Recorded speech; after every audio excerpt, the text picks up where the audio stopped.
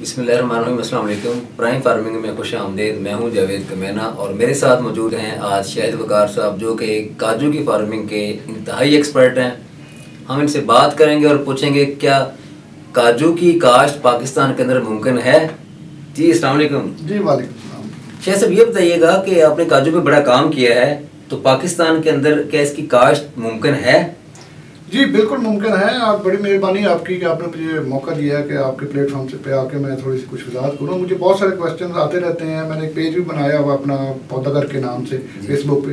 तो वहाँ पे लोग कमेंट्स करते हैं और बहुत सारे क्वेश्चन करते हैं। उनके दो तीन कॉमन क्वेश्चन हैं कि जैसे कि ये इस मुल्क में अपना किस जगह इलाके में होता है? ये किस अपना कौन सा इसका एरिया है? कि किस तरह का मौसम चाहिए? तो किस तरह की ज़मीन चाहिए? तो ये सारे बताने के लिए मैं समझता हूँ कि ये बिल्कुल ये हो सकता है इसके अपने पाकिस्तान के इलाके में। ज़्यादातर इसको बस गर्म गर्म इलाके का पौधा या गर्म इलाके में होता है लेकिन इसके साथ नरम नमी भी चाहिए होती है। अच्छा हमने तो ये एक कॉन्सेप्ट बनाया हुआ कि ये ठंडे इलाके की प्रोडक्ट है। आ, नहीं ठंड में भी हो सकता है देखिए ना पाँच से लेकर ये पचास तक टेम्परेचर में ये पौधा ग्रो कर सकता है बड़े अच्छे तरीके बर्फबारी में भी हो सकता है? नहीं बर्फबारी में ये बिल्कुल नहीं हो सकता है और बस ये देखना पड़ेगा कि कहाँ पे ह्यूमिडिटी अच्छी है। कि जो हवा में नमी का तनासुब है कितना होना चाहिए वो? वो ऑलमोस्ट कई पचास से ऊपर होना चाहिए। यानी पचास परसेंट ह्यूमिडिटी होनी चाहिए हवा में नमी? जी बिल्कुल होनी चाहिए क्योंकि ये खुश्क हवा में ये नहीं अफोर्ड करता। और ये गर्मी बर्दाश्त करता है लेकिन उसके साथ इसको नमी चाहिए होती है तो फिर ये गर्मी को बर्दाश्त करता है। तो बारिशें भी इसके लिए ज़रूरी है कोई? जी बारिशें बिल्कुल बारिशें होंगी तो ह्यूमिडिटी होगी ना हवा में नमी आएगी।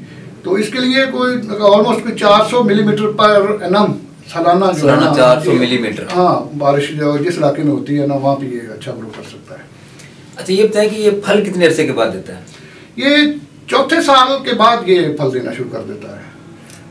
अच्छा। हाँ और ये नॉर्मली पहले पहले साल इसका कम फल होता है उसके बाद ये ग्रेजुअली हर तो हर फल हर जो भी प्रोडक्ट में फल पहला साल को थोड़ा ही होता है जी बिल्कुल अच्छा ये बताइएगा कि पाकिस्तान में आपने इसको जो कास्ट किया है या ग्रो किया वो किस इलाके में किया है? ये कह लें कि हमने जो जर्मिनेट किया है इसको बाहर से इसका बीज मंगवा के तो वो रहीम यार खान में हमने किया है। वो तो बड़ा गर्म इलाका है। देख लें आप मैं वही कह रहा हूँ कि वो गर्म तरीन इलाका है अच्छा पौधों की वो क्या पोजीशन है वहाँ पे? कितनी हाइट के इस वक्त वो माशाल्लाह डेढ़ से दो फुट हाइट तक जा चुके हैं डेढ़ दो फुट आपके पास कोई वीडियो है मुझे प्रोवाइड करेंगे? बिल्कुल मैं उसकी वीडियो दे दूँगा आप उसमें वीडियो के अंदर आपके साथ उस लोगों को दिखा भी दीजिएगा।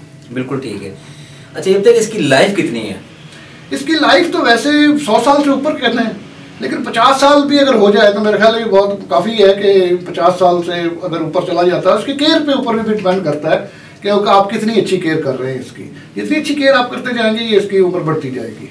वैसे ये सौ साल से ऊपर तक का पौधा है, उसमें एक दो नस्लें तो आराम से इसको आज अगर कोई लगाता है तो कम का अपना ना सोचे, अपने आने वाली नस्लों को सोच रहे तो दो नस्लें कम अज़ कम तो उसकी, है ना, उसका फ़ायदा ले सकती हैं।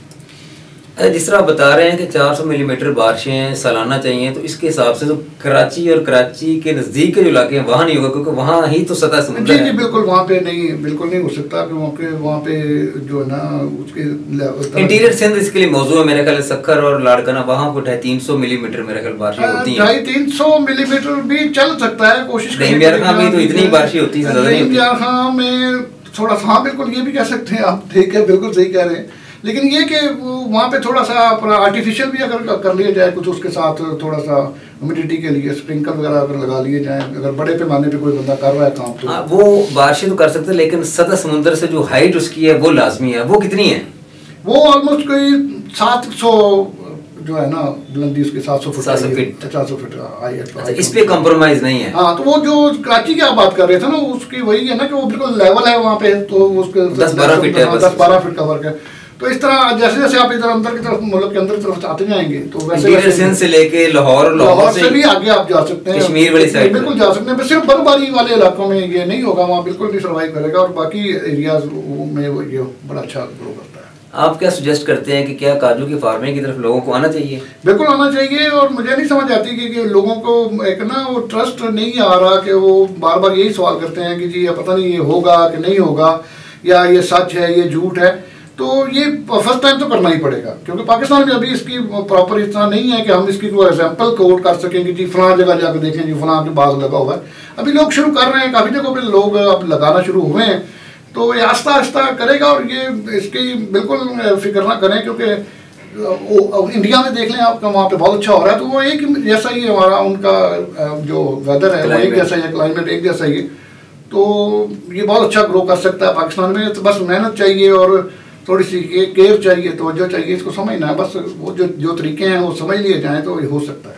जी, बहुत शुक्रिया आपका, शाहिद बुकार साहब। शायद बुकार साहब का मैं नंबर भी डिस्क्रिप्शन में देता चलूँगा, ताकि अगर किसी ने काजू के हवाले से कोई गाइडलाइन लेनी हो, कोई सवाल पूछना हो तो उनसे पूछ सकते हैं। नाजिन अब तक मैं कोशिश कर रहा हूँ कि मुख्तलिफ़ चैनल्स के ऊपर और अपने चैनल्स के ऊपर भी जिसमें दो मेरे ज़ाती चैनल भी शामिल हैं, कि गैर वाती जो चीज़ें हैं, उनकी तरफ़ आना चाहिए, ताकि जब इनफरादी तौर पर मीशत बेहतर होगी तो लामहला मुल्क की मीशत बेहतर होगी। हम रवायती चीज़ें काश्त करके उतना नफ़ा हासिल नहीं कर पाते। जिन दोस्तों ने आज कुछ अर्सा पहले एवाकाडो की और ये नई जिन जो प्रोडक्ट आ रही हैं उनकी फ़ार्मिंग की है पाकिस्तान के अंदर, वो कामयाब हुई है और वो उसको लेके आगे बढ़े हैं और उनको देख के फिर हम सारे शुरू हो जाते हैं। हमारा अलमिया यही है कि हम एक बंदे को देखते हैं कि क्या उसने ग्रो किया है, क्या उसका काम हुआ है, मुझे वो दिखाएँ, उसके बाद मैं आगे चलूँगा। मैं ये कहता हूँ, ये मैं सजेस्ट करता हूँ कि चाहे दो पौधे, चार पौधे एक एक्सपेरिमेंट के तौर पे लगाने ज़रूर चाहिए। उससे क्या होगा कि आपका जो ज़ाती एक्सपीरियंस होगा, जो प्रैक्टिकल होगा, वो थ्योरेटिकल से कहीं ज़्यादा अच्छा होगा। अगली वीडियो में फिर किसी अच्छे एक टॉपिक के साथ हाज़िर होते हैं। अगले प्रोग्राम तक के लिए इजाज़त दीजिए। अल्लाह हाफिज़।